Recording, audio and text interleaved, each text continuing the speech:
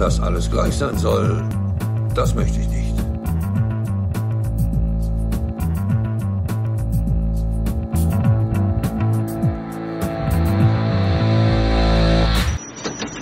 Hallo und ein herzliches Grüß Gott aus dem schönen Bayern.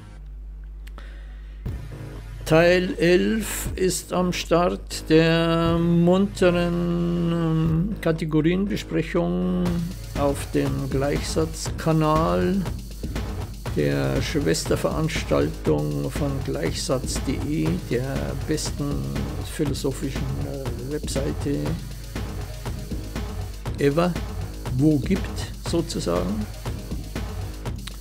Die Nummer 41, ein etwas längeres Zitat. Ähm, ich hoffe, ich kann meine Jünger, Jüngerinnen am Bildschirm halten. Wilhelm der Mackensen, Grundzüge einer Theorie des Abstraktionsvermögens aus dem Jahre 1799, also knapp 1800. Man möchte es nicht für möglich halten, wie weit äh, hier in deutschen Landen schon gedacht wurde, nicht nur Kollege Kant, der zu dieser Zeit gerade seine Hochzeit, möchte man sprechen, hat, aber genug geplaudert, es geht los die Vorlesung startet. Froh und wohlgemut geht der berühmte Wolf, Christian Wolf, ein Vorgänger Kants, der Nachfahre Leibniz sozusagen in der philosophischen Tradition Deutschlands, in, äh, geht der berühmte Wolf in seiner Ontologie seinen geraden Gang durch lauter identische Sätze fort und sagt mit der größten Wohlgefälligkeit, dass Substanz, Ur, äh, Substanz, Substanz, Ursache, Ursache und Bewegung, Bewegung ist. Man ist dabei in einer sonderbaren äh, Bewegung zwischen zwei Empfindungen, nämlich zwischen der sympathetischen Teilnahme an einem sorgenfreien, von keinem philosophischen Kummer gequälten Gemüt und dem Unwillen, den man darüber empfinden muss, dass er Untersuchungen, welche die großen Geister der griechischen Philosophen durch ihren bewundernswürdigen Scharfsinn zuerst auf die Bahn brachten, so leicht von der Hand schlägt und die Urheber seiner Wissenschaften, ohne welchen er seine Metaphysik gewiss nicht würde haben schreiben können, nicht einmal zu kennen scheint der berühmte Wolf.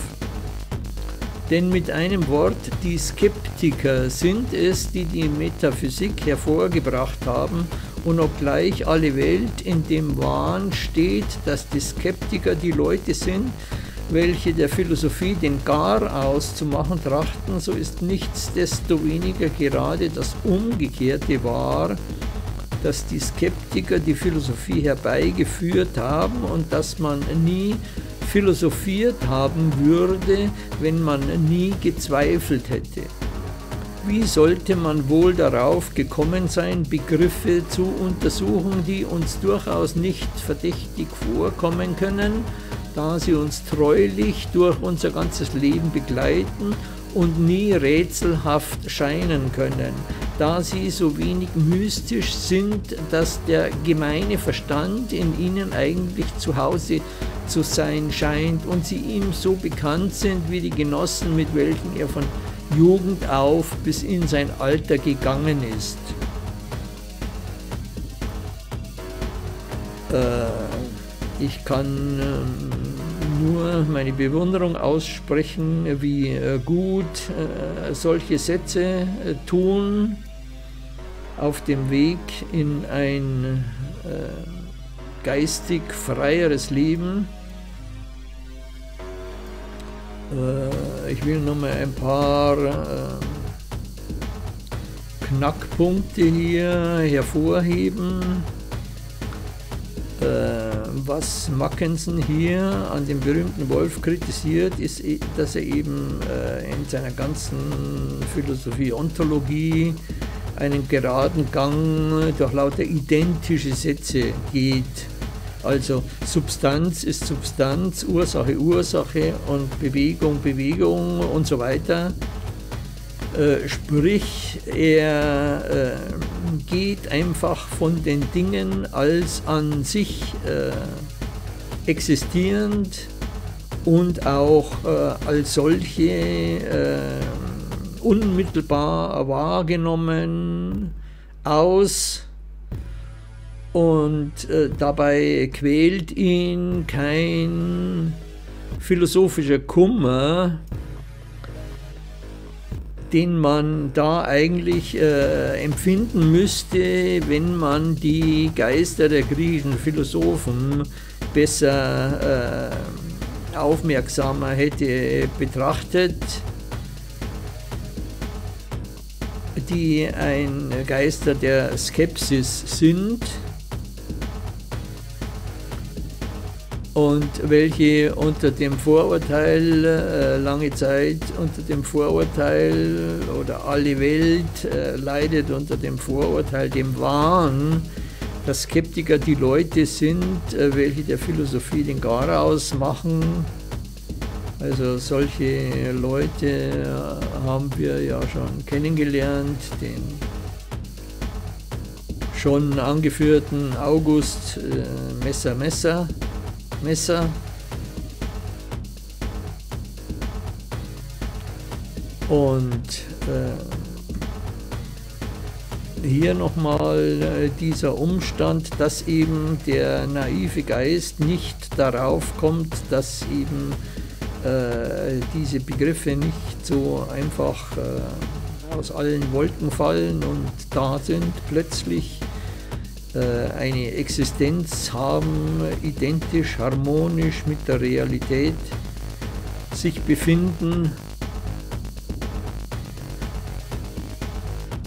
weil dieses identische Denken, äh, das man von klein auf, von Jugend auf schon kennt, das ist ein Schaf, das ist ein Buch, das ist eine Blume, diese Identifiziererei äh, begleitet oft äh, bis ins Alter,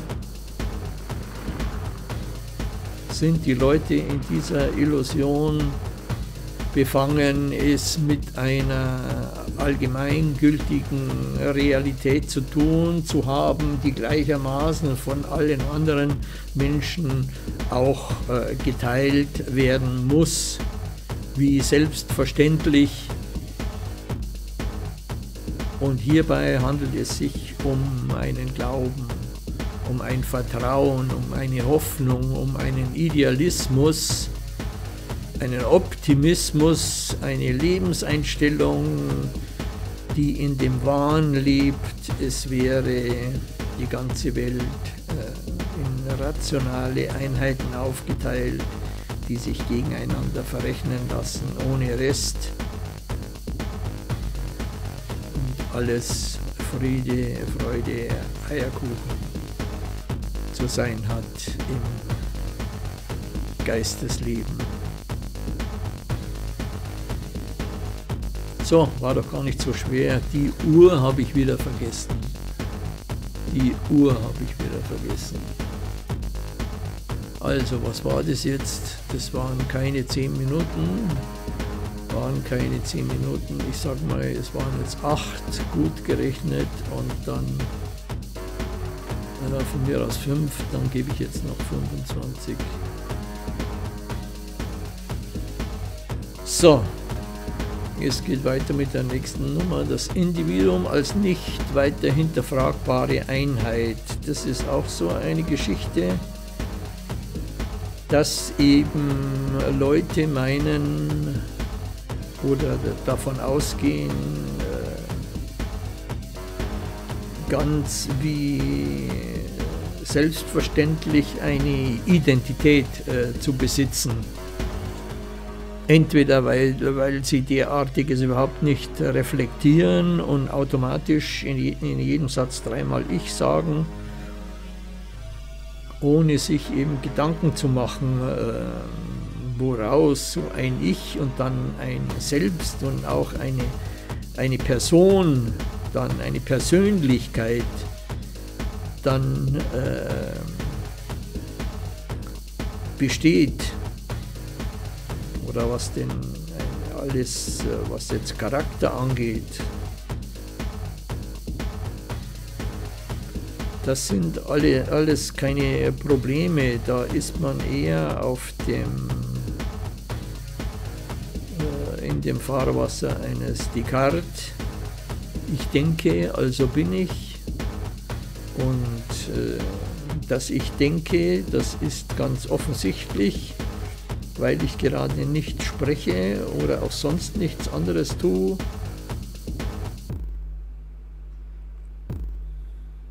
Und schon ist der Fall erledigt.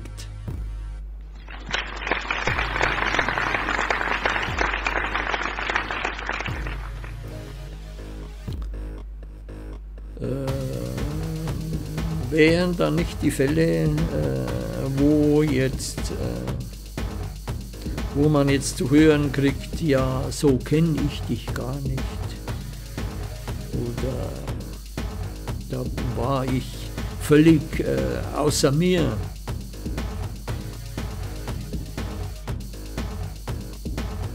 Oder man ist eben im Zweifel über das, was man darstellt, äh, wie man sich sieht im Bewerbungsgespräch, wo sehen Sie sich jetzt in den nächsten zehn Jahren? Und schon beginnt der große Selbstzweifel. Keine Ahnung.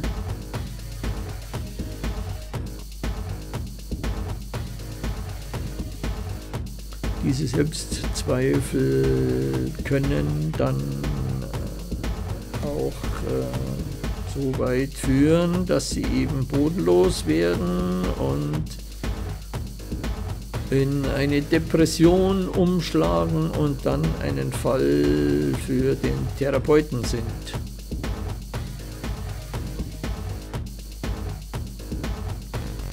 Dem das rechte Maß aus dem Auge verloren wird.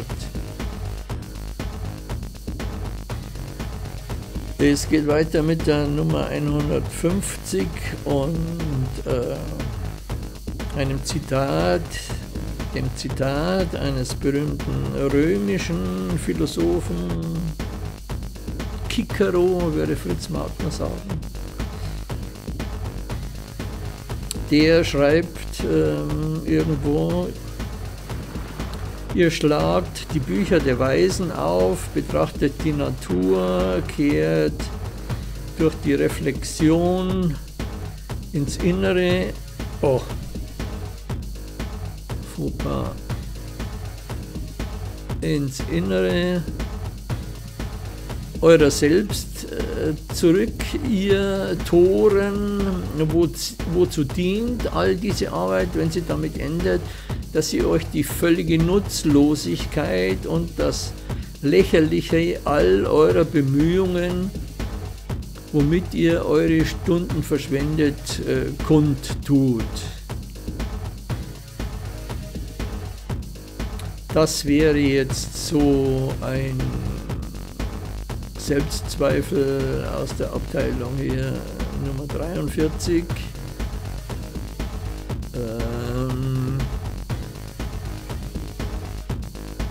die ein gängiges Beispiel sind die, die mittleren Lebenskrisen, wo dann die berühmte Frage, ja, ist das schon alles, ähm, sich die Leute selbst stellen und jetzt meinen, sie müssten nochmal den großen Wurf landen.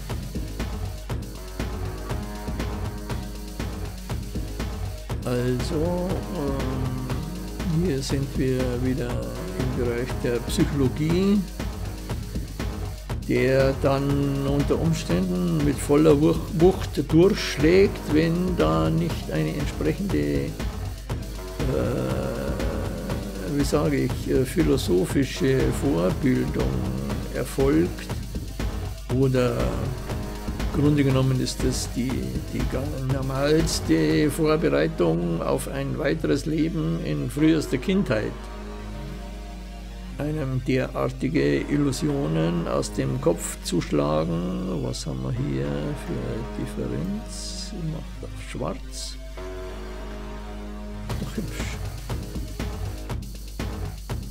Ein weiterer Selbstzweifel findet sich in Goethes Faust klassisch Fausts Studierzimmer. Faust verfällt in seinem hohen, engen Studierzimmer in eine trübe Stimmung. Trotz seiner wissenschaftlichen Titel und Auszeichnungen fühlt er sich nutzlos. Er glaubt, dass er keine wirkliche Erkenntnis gewinnen kann, dass er im Grunde genommen so dumm wie ein Narr ist weil er mit seinem Weltwissen äh, nicht weiterkommt, hat sich Faust der Magie zugewandt. Oder eben äh, dann, was wir später noch zu hören bekommen, diese Auswüchse in Richtung Sektenwesen und dergleichen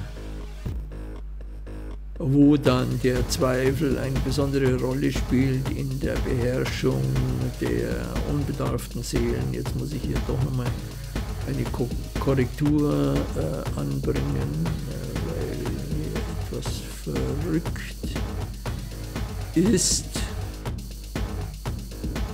Nicht, dass ich da wieder den Programmbalken im Bild habe, wie das schon einmal der Fall war. Ich denke mal in Teil 6 der berühmt-berüchtigten Kategorien-Trilogie des Gleichsatzkanals.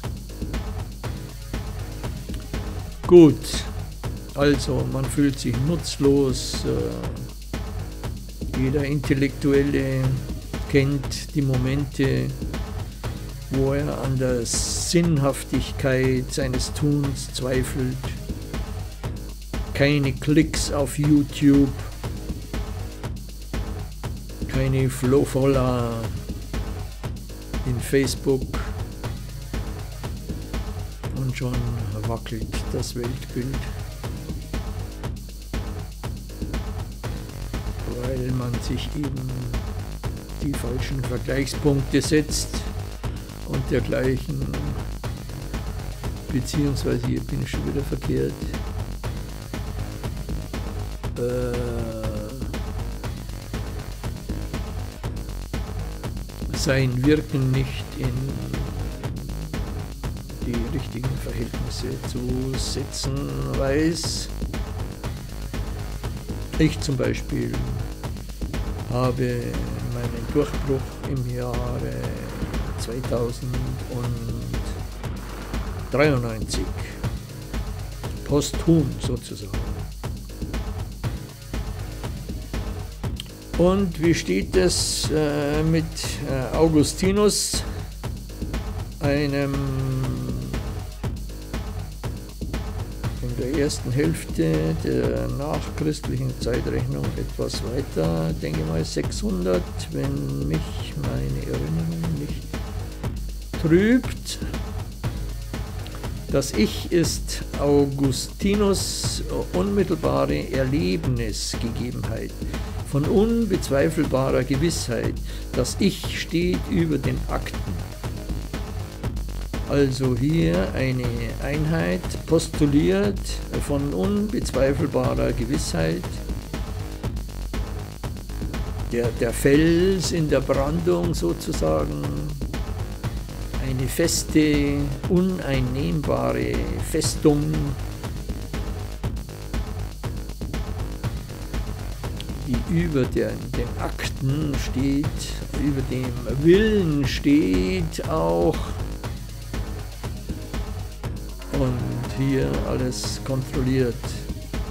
quasi die Vernunft gepachtet hat. Das sind alles so Vorstellungen, so Fantasien, zu denen man kommt, wenn man alles Mögliche reflektiert. Ähm,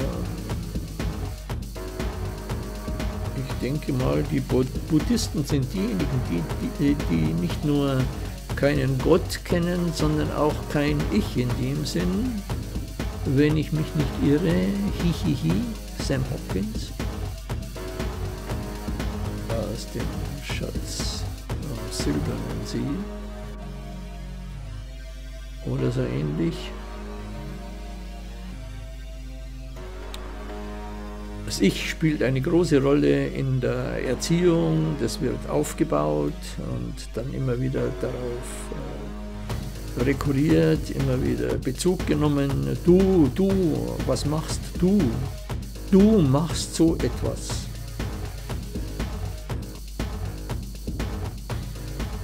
Nun gut, äh, als nächstes äh, lasse ich, lassen wir Arthur Schopenhauer zu Wort kommen, der immer wieder für eine amüsante Variante in der, äh, im, äh, ins Gewissen reden des gemeinen Mannes gut ist.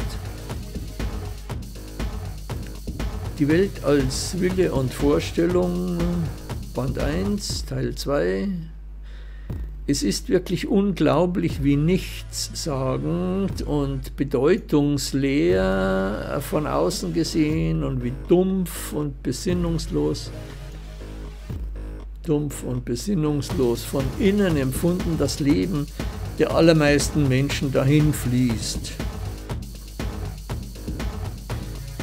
Es ist ein mattes Sehnen und Quälen, ein träumerisches Taumeln durch die vier Lebensalter hindurch zum Tod unter Begleitung einer Reihe trivialer Gedanken, sie gleichen Uhrwerken, welche aufgezogen werden und gehen, ohne zu wissen warum. Und jedes Mal, dass ein Mensch gezeugt und geboren worden ist, ist die Uhr des Menschenlebens aufs Neue aufgezogen um jetzt ihr äh, schon zahllose Male abgespieltes Leierstück abermals zu wiederholen, Satz für Satz, Takt für Takt mit unbedeutenden Variationen. Nun ich, der ich äh, keine Ur-Ur-Urenkel in meiner Familie aufzuweisen habe, kann dennoch aus Erfahrung sprechen, dass es Generation für Generation immer wieder derselbe Mist ist. Sie fallen auf dieselben Tricks herein, passen sich denselben Gepflogenheiten an irgendwann nachdem sie in ihrer Jugend äh, aufmüpfig waren und dann eben über 30 unglaubwürdig werden.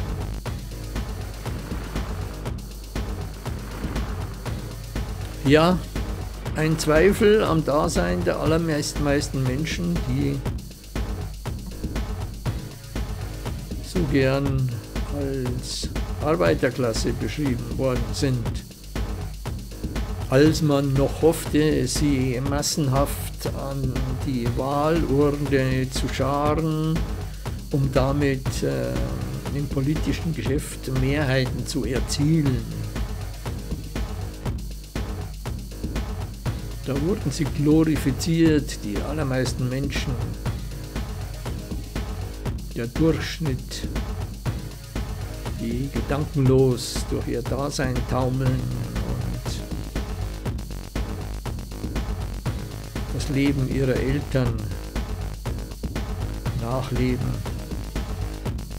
um einige unbedeutende Variationen verändert wie heißt es so schön bei den Godfathers? Birth, School, Work, Death im Refrain. Und das war's dann wohl.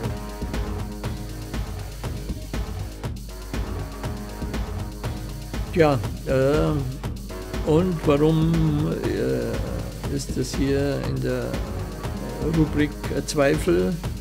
Das sind äh, sogenannte Lebenszweifel oder eben Fragen nach den sogenannten Lebenslügen, wo sich jemand vormacht, äh, ui, ist alles super toll,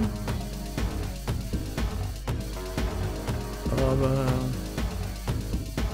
das Ganze nur ein, aus einem schönen Saufen, sage ich mal, äh, wie hoch ist nun gleich, äh, gleich nochmal die Zahl der Alkoholiker hier in Deutschland oder weltweit? Oder die Zahl der Drogenabhängigen Deutschland oder weltweit? Oder der Fernsehsüchtigen Deutschland oder weltweit? Da kommt einiges zusammen, die alle ihre Realität äh, sich mehr oder weniger äh, ja, schmackhaft machen müssen. Weil sie alles andere als ein sinnerfülltes Bewusstsein bzw. Dasein haben, führen, leben, ihr eigen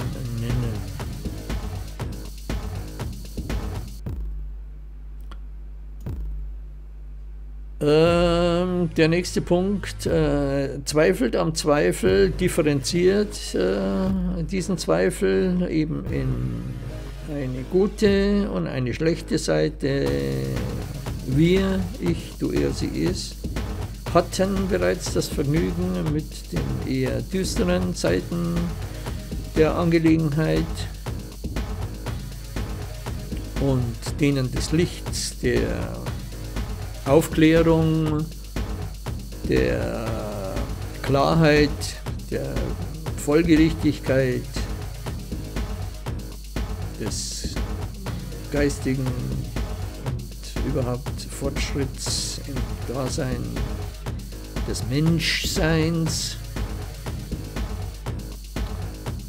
In der nächsten Nummer wird der Zweifel als irrationales Gefühl beschrieben, das wir eben die Abteilung Finsternis, Moment, hier sind wir, und äh, wieder die nächste Nummer beschreibt äh, ein äh, Bedürfnis, ein seelisches Bedürfnis äh, als die innere Not des Egos. Was hat er bloß, was hat er bloß, was ist mit ihm? Alles in Ordnung? Ja, alles okay? Blödeste Frage der Welt worauf das die, die innere Not des Egos dann auch nicht antwortet. Oder keine Ahnung. Und dann eben der Abgrund. Sturz in den Abgrund. Sie sind nicht mehr erreichbar, diese Leute. Für niemanden nicht einmal für Pegida.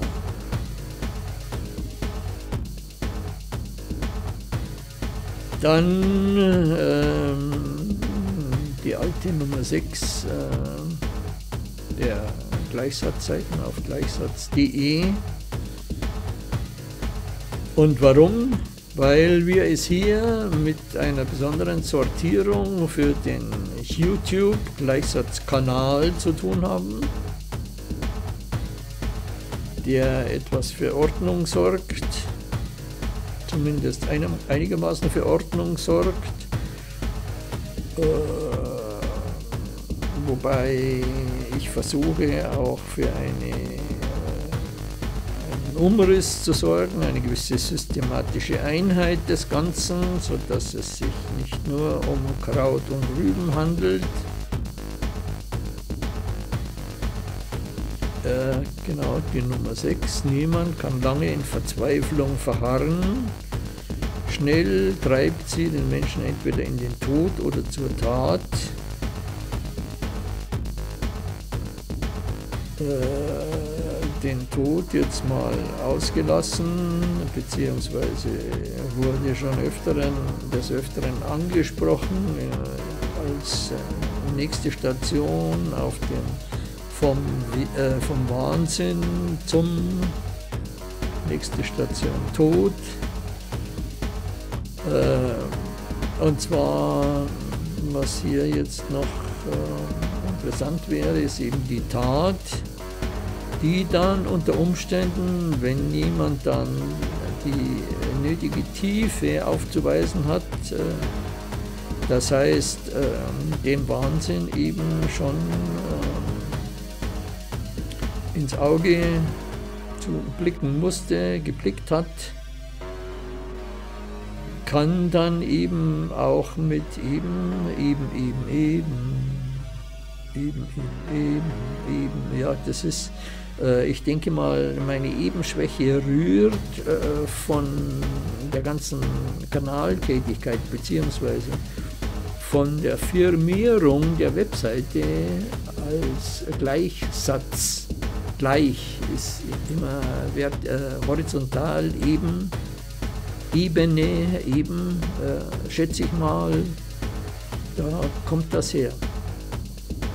Aber äh, genug geplaudert. Wo war ich gleich noch mal? Ja, genau. Äh, da kann eben bei diesen Leuten, die, die, die den Wahnsinn ins Auge geblickt haben, dann äh, zu, also wie besessen können diese dann äh, irgendein Ziel im Auge haben und das dann auch verfolgen, ohne Rast nicht müde werden, eben weil ihnen immer der Wahnsinn im Nacken sitzt. Äh, wäre einmal, gibt es vielleicht schon dementsprechende Untersuchungen, äh, Studien zur Rolle der Besessenheit in Biografie der erfolgreichsten Persönlichkeiten des 19. Jahrhunderts oder so. Gut. Äh, dann der nächste Punkt, Nummer 68. Ein qualifizierter Therapeut stellt die Annahmen des Klienten in Frage, dass sein sprachliches Modell die Realität ist. Also was jetzt so Therapien angeht, äh, ich habe jetzt, äh, es, ist, es kann hier nicht von einem Anspruch äh, in Bezug auf irgendwelche therapeutische Interessen hier erhoben werden, wenngleich es eben um, auch um den Begriff, äh, vielfältig um den Begriff der Realität geht und um dessen äh, illusionären Charakter, wenn es um eine äh, logische Allgemeingültigkeit bzw. Objektivität geht. Und ich denke mal, äh, dass es sich vielfach bei den Annahmen des Klienten, jetzt ist meine Zeit zu Ende, äh, um eine, äh, um Ansichten handelt, beziehungsweise Übernahmen von objektivistischen Realitätsmodellen die dann eben äh, sagt, äh, das Sprachliche da äh, schon sprachlich, das heißt Allgemeinbegriffe, Abstraktionen werden für äh, Realität gehalten. Und insofern das hier auf diesem Kanal besprochen wird, handelt es sich auch um eine therapeutische Maßnahme. Ist einfach so.